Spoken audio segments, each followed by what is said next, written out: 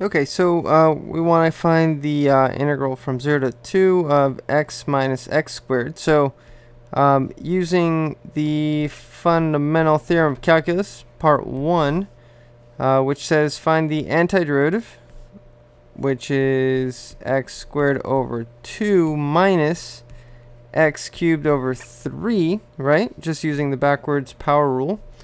And then um, fundamental theorem of calculus says plug in uh, top minus the bottom. And so then you uh, plug in 2 into these, which is going to give you uh, 2 squared over 2 minus 2 cubed over 3.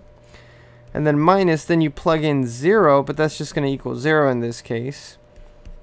And so here you have um, 2 minus 8 thirds and 2, well that's 6 thirds, so that's going to be negative 2 thirds. Okay, so to find this integral, um, this one is actually a little trickier than it seems because if you uh, try to use the um, the power rule here, you know, you might be thinking, oh, well, let me just bring it up um, as x to the negative 1 dx. But notice that you can't actually use the, the uh, backwards power rule because it doesn't work for um, the exponent negative 1 because it's undefined. So, but then you, you remember, you go, oh, wait a second. This dx over x, this is the same as 1 over x dx. And so the antiderivative of 1 over x, well, that's just the natural log of the absolute value of x. And so then you're just going to evaluate from negative 3 to negative 1. Okay, so then you have natural log of absolute value of negative 1 minus natural log absolute value of negative 3. And so natural log of, this is just natural log of positive 1, which is 0, minus natural log of, well, that's just going to be positive 3. So we have negative natural log of 3. Okay, so when we're trying to find the integral of uh, roots, um, basically what we want to do is uh, we convert it into a exponent. So this is going to be t to the 1 half dt, kind of like when we were getting derivatives. And then you just use the uh, backwards power rule, um, just like normal. So we're going to have t to the 1 half plus 1 is 3 halves. And then remember, instead of dividing by 3 halves, we're going to multiply by the reciprocal, which is 2 thirds. And then this we're going to evaluate from 0 to 3. So then this is equal to 2 thirds times 3 to the 3 halves minus 0. And so, um, you know, you can simplify this a little bit, I guess. Um, this is the same thing as 2 thirds and then the square root of 3 cubed, which is 27. Um, you can take out a 3 from in here um, if you want to right? So if you take out a 3 you would have 3 times 2 thirds square root of 3 and so that gets rid of those. So then this is just 2 square root of 3 okay so for this function we want to find first the antiderivative. And so uh, the function then when we get the derivative of it gives us cosine of 2x. Well, that's going to be sine of 2x. But then remember, we're going to have to divide by 2 here. Um, because when you get the derivative of this one, you would have to use the chain rule. So um, you got to be careful with, with that one. And remember, when you find the antiderivative, you can always, always test to make sure you got the right answer. Okay. So we're going to go from 3 pi over 4 to 7 pi over 6. okay, so then we uh, plug in top minus bottom. So what we're going to do is we're going to have sine of 2 times 7 pi over 6 all over 2 minus sine of 2 times 3 pi over 4 all over 2.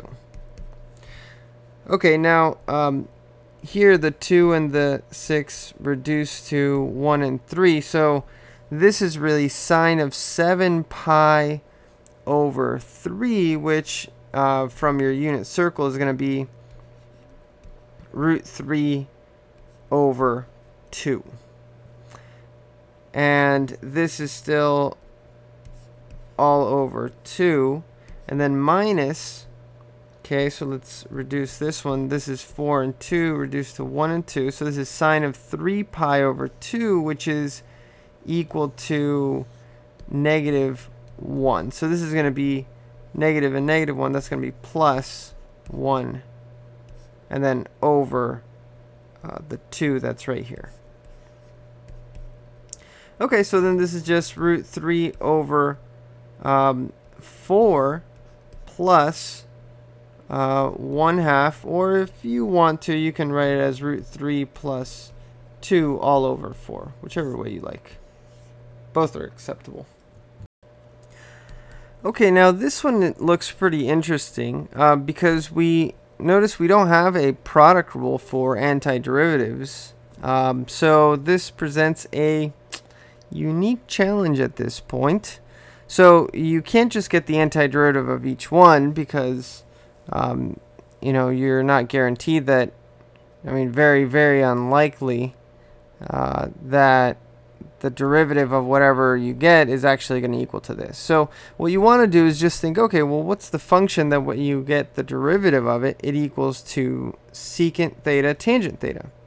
So you think, you know, you have your library of derivatives in your brain and you go, oh, I know, secant because the derivative of secant is secant tangent. And so that's it. That's all you have to do. And then, of course, just uh, plug it in. So what we have is secant of pi over 4 minus secant of 0.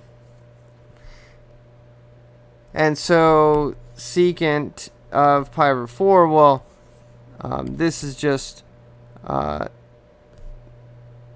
1 over cosine. So this is going to be, so since cosine of pi over 4 is root 2 over 2, this is going to be 2 over square root of 2, um, which also reduces to just square root of 2. So I'm just going to write square root of 2. And then minus secant of 0, that's equal to just 1 because cosine of 0 is 1. And so that that's how easy it was. That's it.